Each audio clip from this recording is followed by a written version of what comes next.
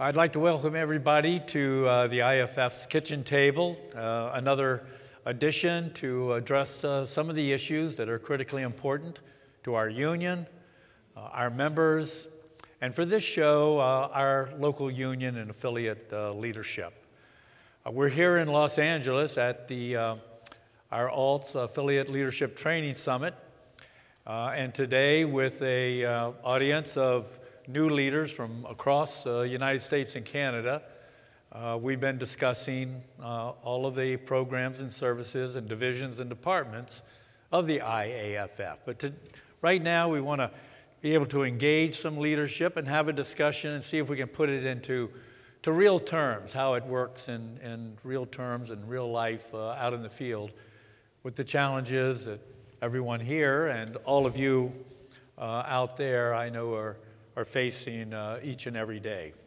Uh, with us today, we have uh, Amy Burton from Leland, North Carolina, a local 5160, and Leland hails from eastern North Carolina and currently serves as a battalion chief for the Town of Leland Fire and Rescue Department.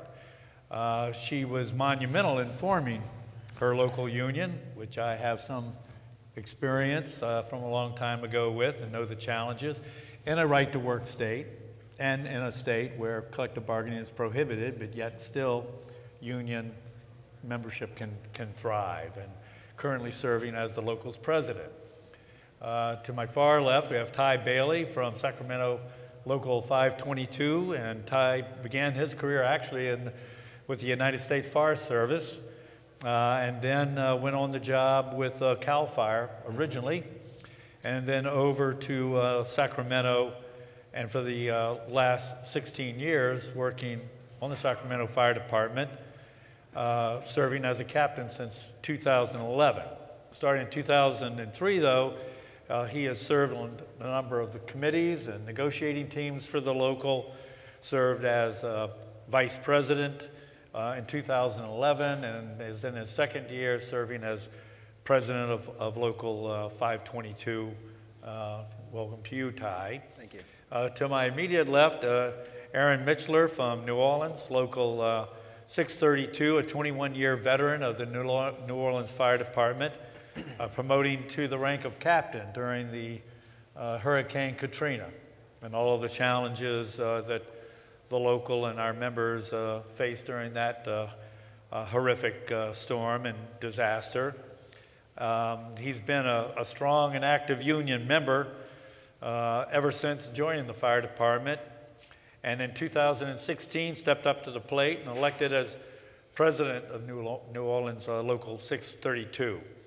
They represent over 1,250 members, um, and I know he's got a strong team with John and Rick on your team. Uh, and um, I'll be interested to hear him share some of his challenges with you. And uh, to my far right, Rob Weeks from Vancouver Local 18. And Rob has been on the executive board of uh, Local 18 since 2009 and elected as uh, Local's president in 2014, uh, representing over 800 members uh, in uh, Vancouver.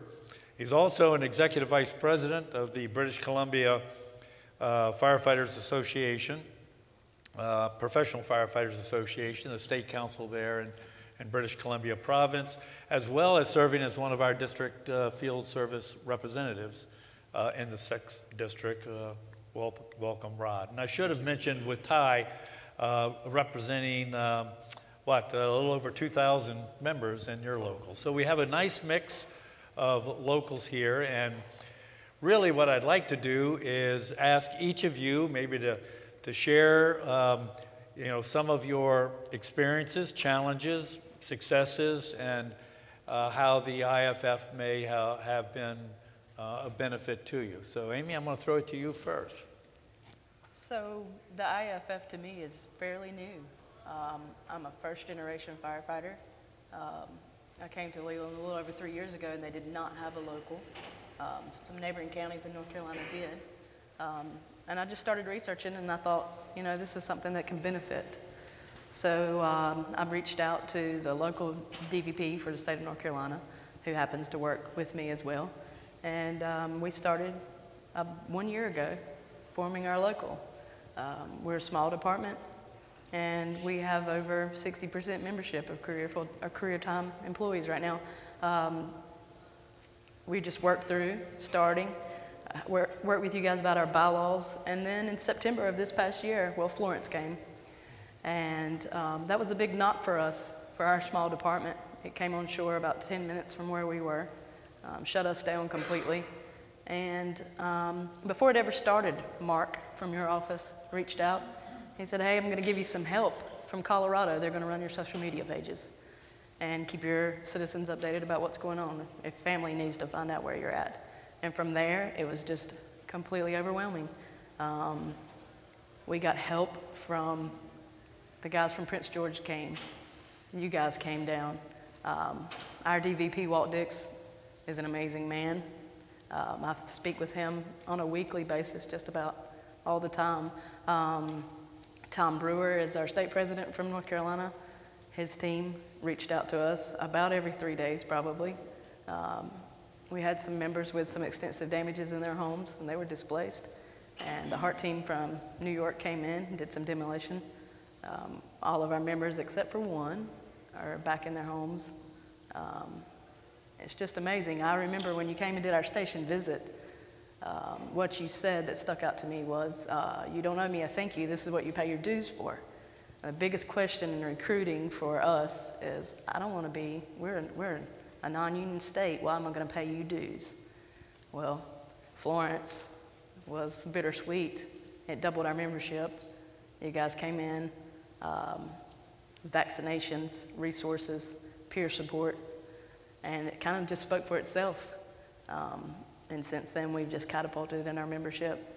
And um, even today, we've had people reach out Is there anything else we can do for your membership to make sure you're functioning well so you can continue to do your job? So that was our biggest uh, challenge so far with nine months brand new into the IAFF. And um, it kind of speaks for itself. Well, job well done and, uh, and obviously welcome. And it doesn't matter whether, again, I said earlier this morning, we don't have large locals, we don't have small locals, we have locals because every member, every one of your members pays the same freight as they do in some of our very largest locals uh, in North America. And I know the challenges you face in a, in a right to work state, but still finding the value uh, of the IAFF and being unionized. Let me, uh, Ty, kind of turn to you and uh, share some of your thoughts, experiences, challenges, and uh, how the IAFF may have uh, been of value.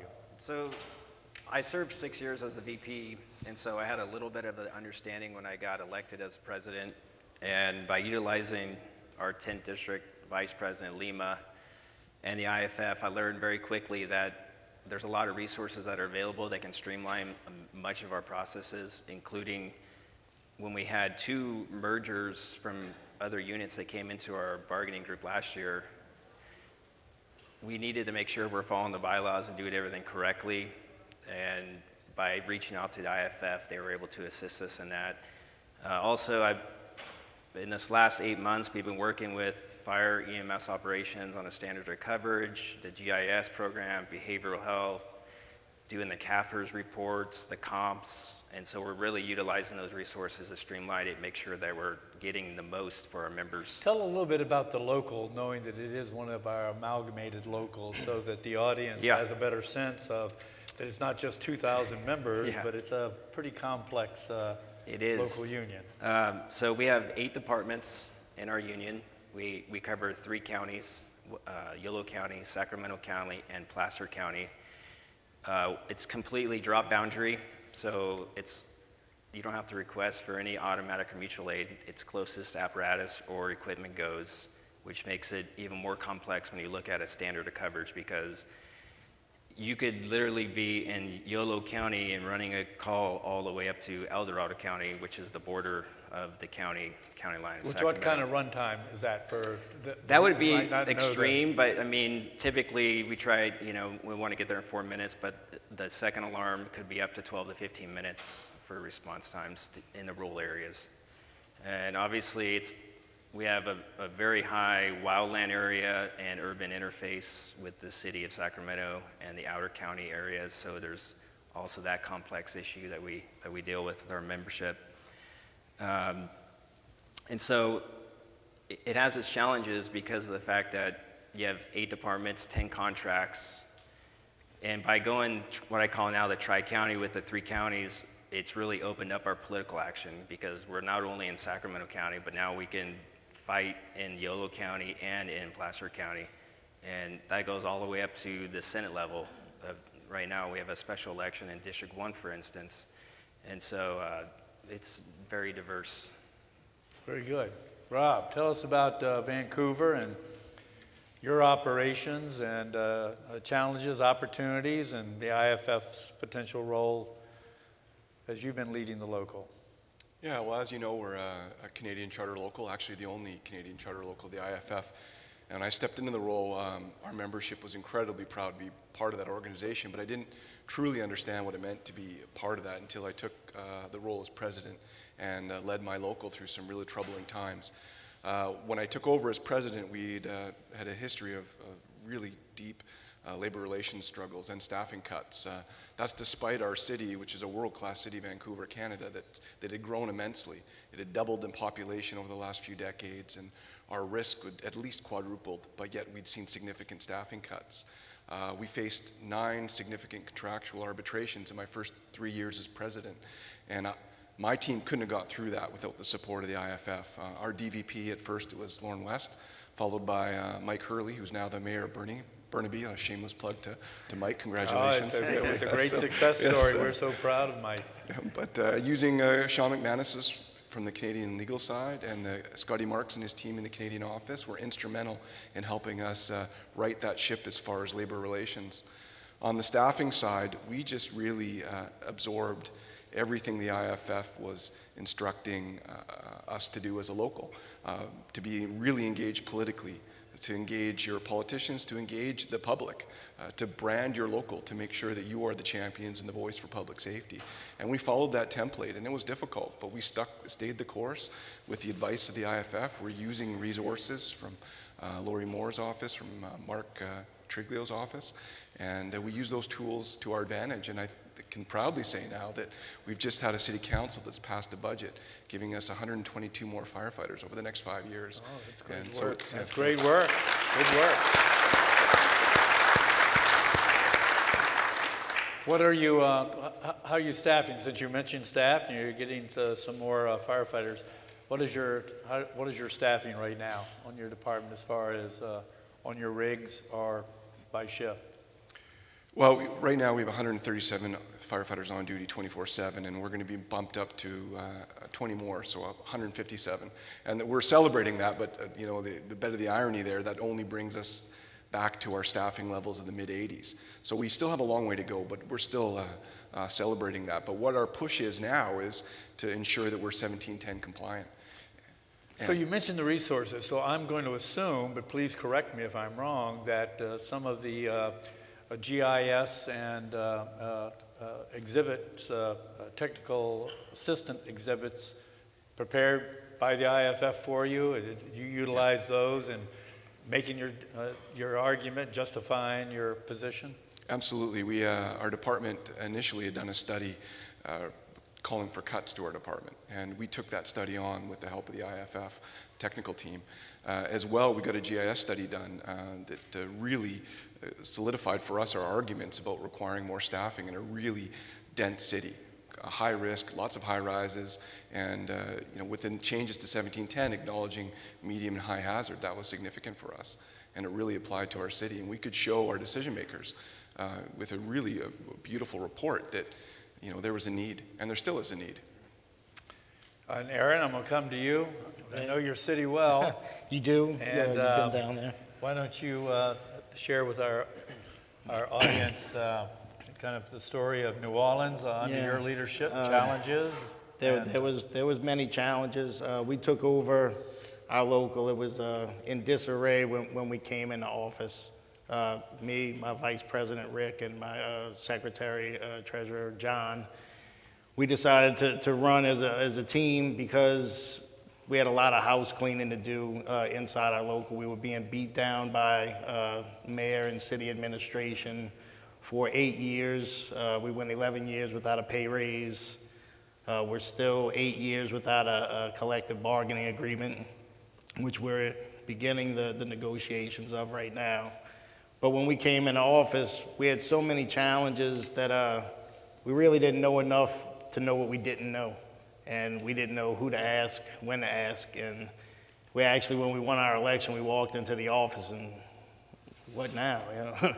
and our first phone call, uh, the first phone call I got was from General Secretary Edzo, reached out and said, whatever we need, you know, don't hesitate to call. And next call was from our DVP, Danny Todd, who I can't say enough for having him as, as a DVP. He's helped out immensely. And we were brought up to Washington, had a, you know, a little meet and greet with all the different uh, departments and everybody that we talked to, you know, take a call. You need anything, you call. And I said, you know, be careful what you ask for because I'm not scared to pick up a phone. And they've been true to their word, and I've been true to mine. And I could run down a list of everyone that uh, has helped out. Uh, we were doing a pay study, uh, my, my Vice President Rick and I. We, we spent six weeks plugging away at it on our own, finding, you know, going on the internet, finding all this information. And when we had our, our meeting with Lori and Kelly Lopez, who is a saint, uh, all the, all the work that we did, they brought back to us plus more within two minutes. So that was six weeks of spinning our wheels that we, we could have done something different. Uh, Mark Treglio, Scott Tribetz with the communications division, they've helped out getting, you know, helping me out getting our brand out. We, we rebranded uh, our local, and just the work that they've done with us has been astounding.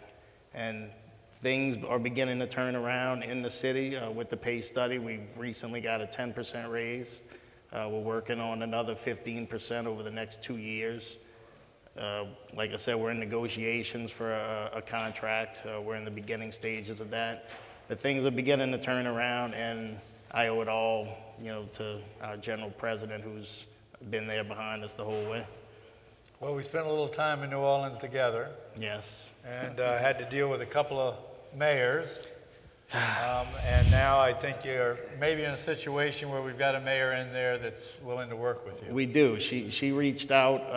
Uh, and one thing I can say is the staff of the IAFF is one thing. You can reach out to any of them at any time, and they- they'll be there to help.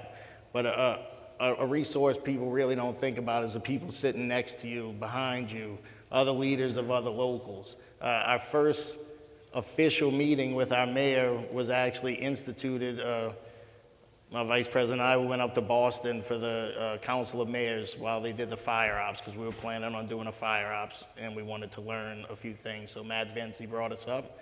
Uh, our mayor was going to be there. She didn't participate at that time, but Ryan Moody, who's the president of Tacoma, his mayor was there also. And our two mayors became friends. And she actually instituted our first meeting with our mayor in Boston. Uh, over drinks, which wasn't so bad. We got a lot of, lot of work done uh, unofficially, but it, it went a long way. So utilize uh, the networking that you have in this local. It, it, it's huge. I've, I've had help from DVP Frankie Lima, who, who you know, our mayor is friends with uh, Mayor Garcetti from Los Angeles. And, you know, it's just things you don't think about that, you know, you reach out to somebody, it's happening somewhere else. It's not just happening in your uh, municipality. There's other places uh, that same things are going on, and bend the ear of the people around you, and you'll get an answer. Well, you know, one of the uh, one of the areas that you know we spend a lot of time and a lot of effort on is our work in the in the political arena. Um, and uh, as our GST said this morning, and I've been saying for a long, long time, you know, everything really comes out of that arena. That's where all the power is. That's where all the decision makers come from. So, with that said, how about each of you sharing any experience and how you have potentially uh, utilized uh, the political uh, operation and process as part of advancing you know, your own uh, your own efforts? So I'll, Rob, throw it to you first. Well, it- it's been a critical part of our success, and, and we've, uh, we've just immersed ourselves in what the IAFF offers, and I completely agree with Aaron that it- it- you call anyone from the IAFF staff, they're more than willing to help. And, uh, and on top of that, I think we, all of the new leaders need to be mindful of uh, the great opportunity uh, something like this is ALTS. Uh, you know, so we learned from going into courses at ALTS that the IAFF was putting on really how best to, to engage our political leaders. And certainly from you, General President, that's always been your mantra to make sure you're in, involved in that game. So we uh, use the, the training opportunities at ALTS. We've sent uh, uh, members of our team to the Political Training Academy. And uh, also from the communication strategy point of view, we followed those templates, bringing up uh, public safety messages, using the toolkit provided by the communications division, following a strategic communications plan that ensures that we are the voice for public safety, so that when we call on our public to, uh, to support us uh, in our decisions about uh, our political leaders, they, they're behind us. And so I can't say enough about uh, what the IAFF has provided, but the best place to start is, is something like this, this affiliate leadership training course, where you can really start to get the roadmap on how you can, can do that and engage your political leaders. Ty? I remember my first convention I went to was in Philly, and for those of you who were there, I remember walking down the street with you leading the charge to the to the uh, city hall to rally against their mayor, who I believe was their mayor at the time. Nutter. And uh, the hair on my neck went up, and I saw the power of political action and being part of the IAFF. And I know from my experience, the assistance that we've gotten from the IAFF for our political action has been huge. When I first got elected, the economy was down, our membership was down. I think our PAC fund had around 200,000. And um, I know through Brian Rice's leadership, DVP Lima, yourself, right now I can say we have over 750,000 in our PAC account. And, you know, money is power, and our membership has seen what we can do by getting out there and busting our butts for them. So, Amy, I know new local and, uh, and know the region you come from, but how about uh, any, any experience in, in that political arena yet, and to what extent have it's been a benefit? So my experience is uh, minimal, but we took several trips to our state capital in Raleigh last year, and um, through the direction of our state leaders, that, which was in turn through the direction of IAFF, we had got presumpt- presumptive cancer legislation passed, um, and that was huge for us. Um, and it was all just talking points, again based off of what you said, the templates, and the way we're you know instructed just as easy as forming a meeting, sitting down and having a meeting and getting that face to face out there and learning. You know, So which advancing are ins and out. presumption, so advance cancer presumption in an anti-union, Yes. non-collective bargaining state environment by utilizing our political Yes. tools and strategies. Our relationship in Raleigh is strong. Um, our leaders on the state level are there weekly, I feel like. Um, we are a name. They know who we are when we walk in the door. They make time for us. They kick everybody else out of the way, which is kind of neat to see. Uh, we walk in the building, they stop what they're doing to hear what we have to say. It doesn't always work out in our favor, but um, that's not a bad thing either because they continue to listen to what we have to say, uh, which is very encouraging, especially in a non union state. Very good. And Aaron, politics in New Orleans. Uh, politics in New You got more mayors in jail than you do in office. We definitely, we definitely do. Uh, it- It'd be, it wouldn't be as funny if it wasn't true, you know? Uh, But uh, as far as political action, we have to kind of walk a fine line uh, dealing with the Hatch Act in Louisiana. Uh, I'm working with our counsel, uh, Louis Robein, who is kind of, we're kind of getting around corners and, and and doing things where we can actually put our foot in, in that I door. think it's important for the audience, really, because you think of New Orleans, a big city, you know, a, a famous city, but um, unfortunately, or, or not, I, I think it would be of interest uh, what you have to work under as far as the inability or ability to engage in political action. Right. Um, With that, being able to, we're, we're not allowed to take, uh, under the Hatch Act, we're not allowed to partake in any political activity uh, at all. But as officers of the union, left up to interpretation, uh, why we're working with council, you can, as an officer of the union, have certain guidelines that you can follow to do that. And away from the monetary uh, side of, of working with that, when we engage our politicians, we kind of use the firefighter brand. That's, that's what we have. We have our reputation in the neighborhoods, in the streets, in the community. And that's something that we can lend to them that I believe is, is more valuable than any money that we could donate to that campaign. So we use that uh, as monetary uh, value to them.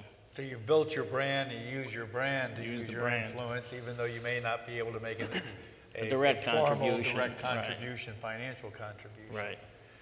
Um, We have a, the audience here, I want to, I I see we have a sister at the mic. Hi, Jamie Wallace with the Prescott Fire Department, Local 3066. We just had a really great success too of passing a tax reform with you all's help, so I want to say thank you for that.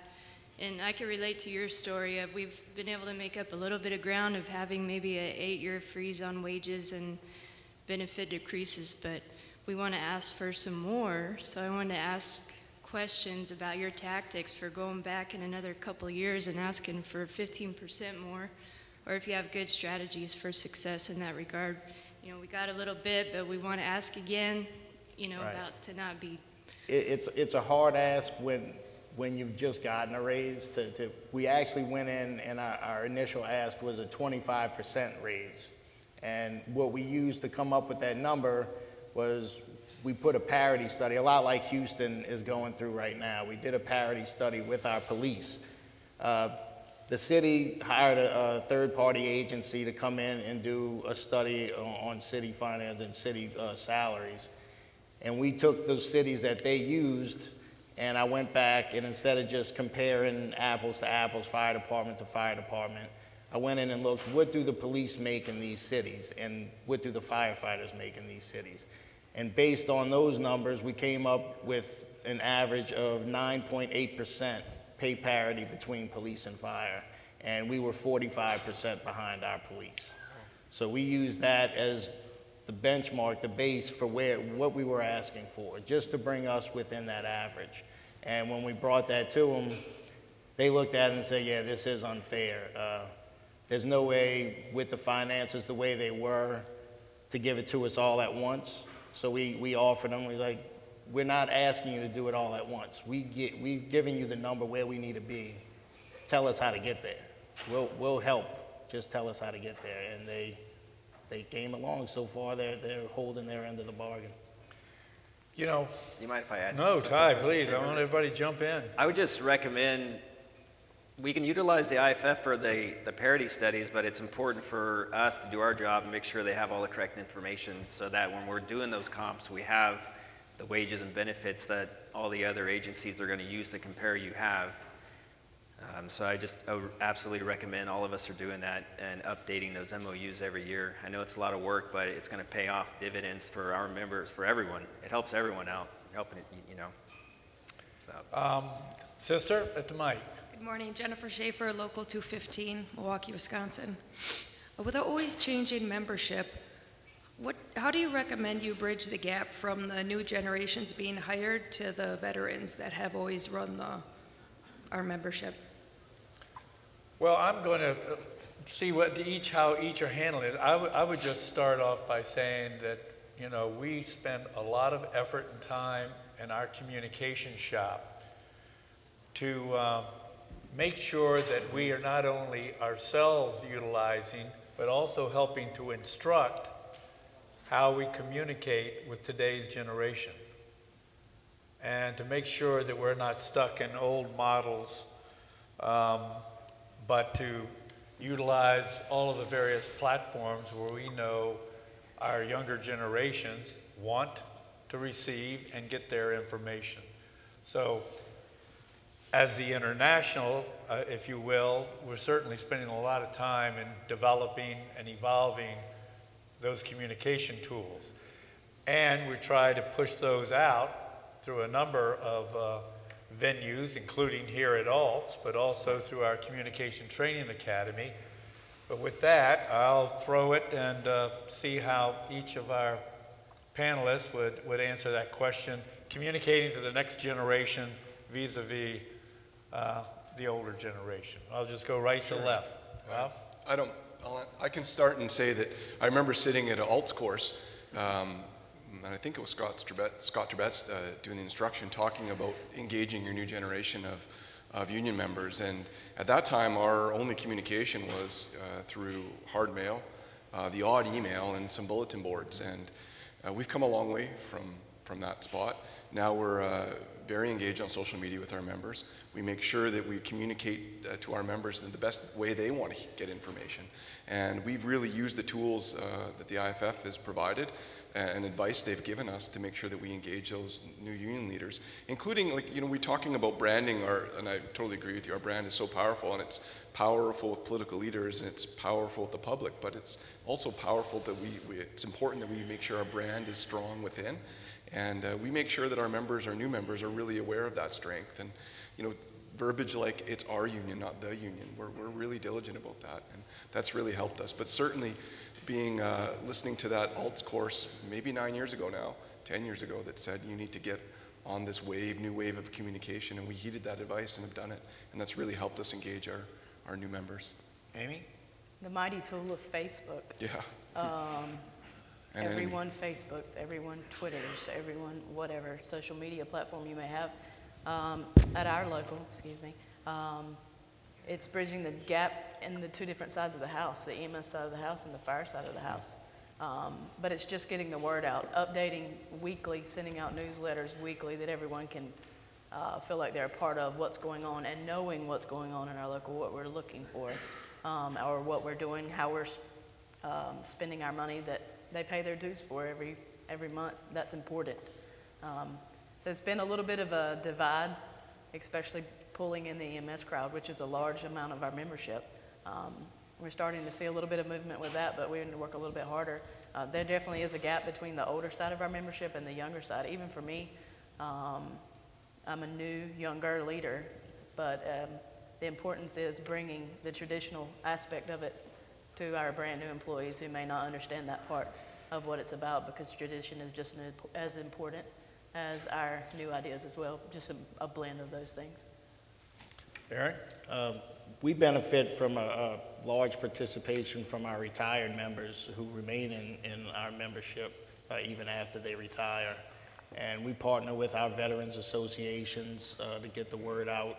Uh, we have a lot of help from those guys to, to bridge that gap. And we, we brought on a firefighter who's uh, increased our digital footprint. And he, he spans all the social medias. He does our email blasts.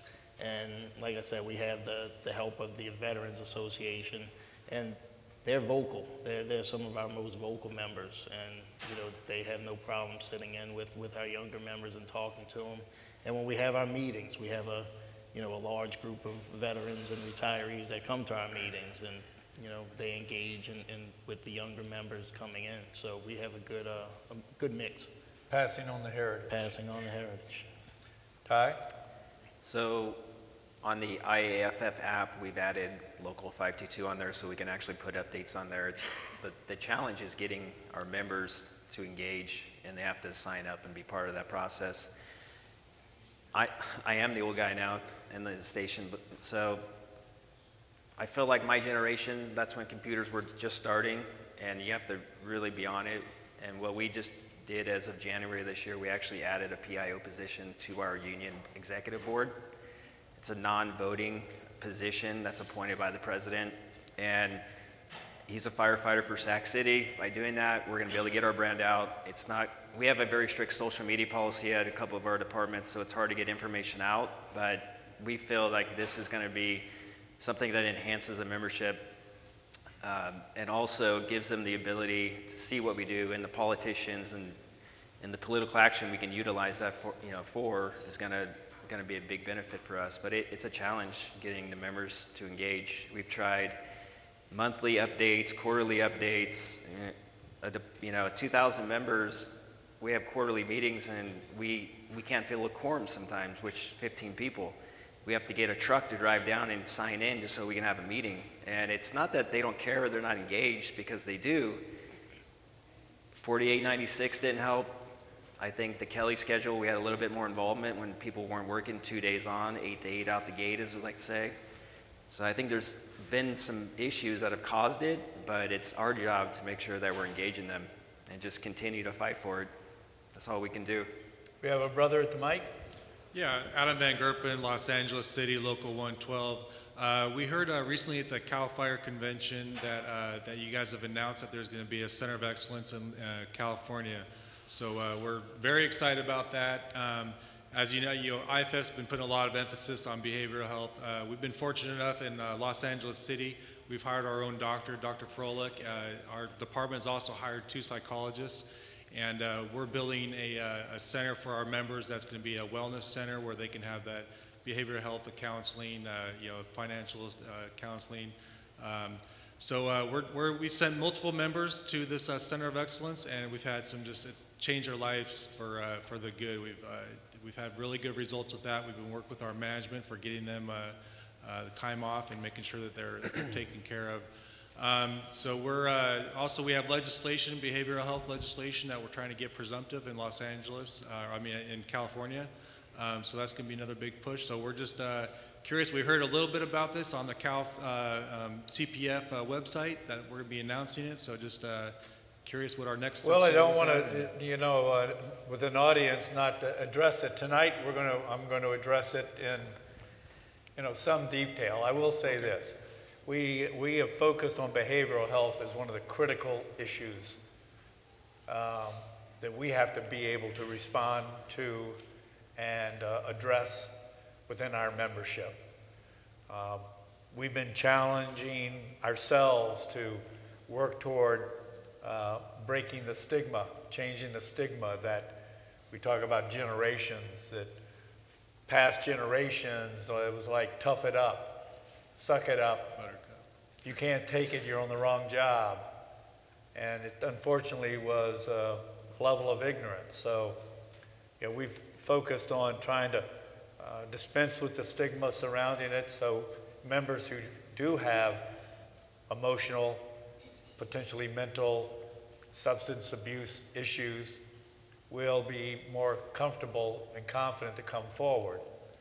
Uh, so there's not a, you know, every area is so important, but we're spending an enormous amount of time and effort, resources, uh, from peer support structures uh, to educational structures, trying to make sure that we're informing our leadership how to recognize a problem and to set up a process where members will feel that they can kind of come out of those shadows uh, to ask for help. And certainly the Center of Excellence is uh, kind of the pinnacle of that work because, uh, you know, it's, it's a shame to say, but the fact of the matter is that we right now have more members committing suicide than we're losing to line of duty deaths.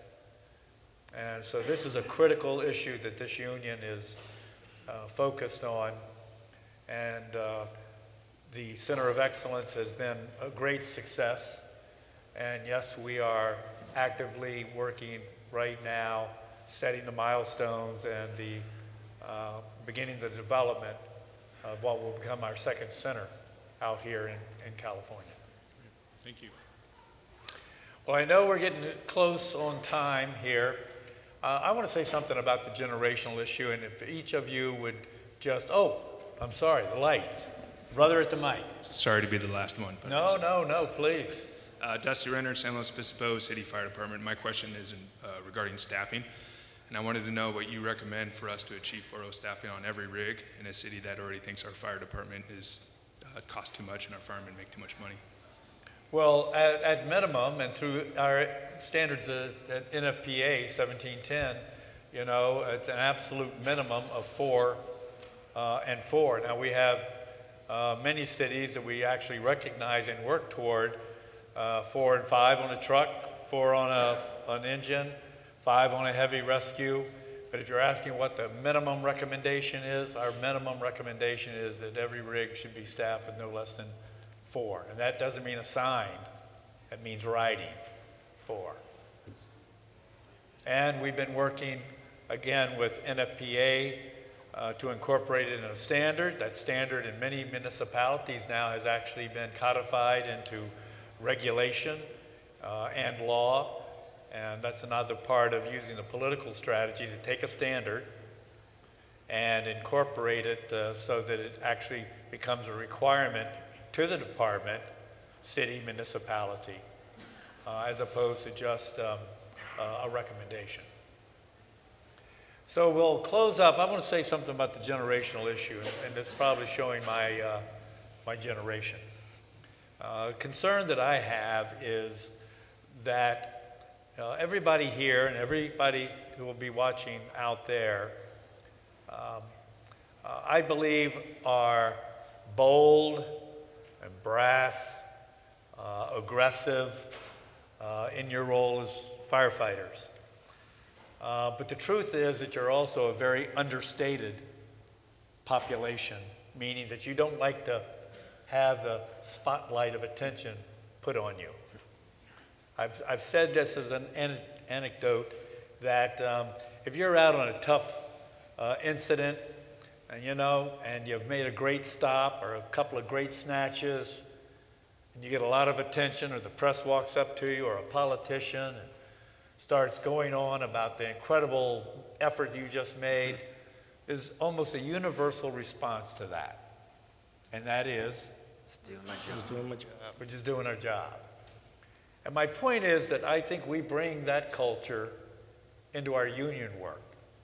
Unfortunately, when I say unfortunately, uh, we, we, we're still learning and trying to work toward making sure that our next generations do know what your value is, what your responsibilities have been, and who brought about what they typically enjoy. That it wasn't just the state that woke up and gave them a retirement or presumptive legislation.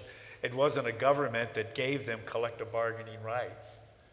Um, that all of this has been part of, of the union's work over, over the many, many years and decades. And so I think one of the things that we're continuing, continuously trying to teach and to utilize the communication tools, but it's to break out ourselves, to have yourselves break out and be more confident, and if you will, more aggressive in making sure that next generation in, coming in, has a, a better framework and a, and a better understanding of how this all came about. The city just didn't give them a job. The, chief didn't just give them an assignment, and their captain didn't train them up. That what they're really enjoying, in large part, has been the work of, of all of our work uh, in our locals all across the United States and Canada. But with that, I think our time has come to an end. We'll have to close off uh, another uh, kitchen table. We hope you'll find it of value. We really want you to give us feedback. Uh, we want to hear your views and your criticisms so that we can utilize this as simply one tool to hopefully be able to, to reach out and connect uh, with the uh, 315,000 uh, men and women, sisters and brothers of this great IAFF. So I want to thank the panel, Ty, Thank you. Aaron. Amy, Rob, for your participation today, and more importantly, for the incredible work that you're doing, I know, every day on behalf of your members. And with that, we'll sign off and see you along the way, but more important than anything, stay safe.